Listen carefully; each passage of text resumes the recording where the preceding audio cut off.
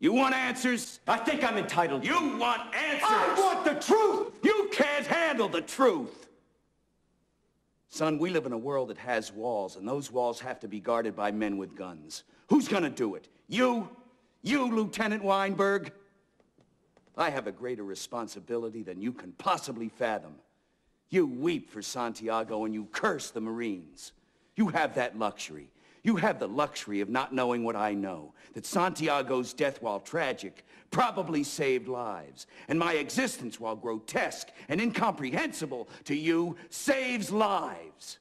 You don't want the truth because deep down in places you don't talk about at parties, you want me on that wall. You need me on that wall. We use words like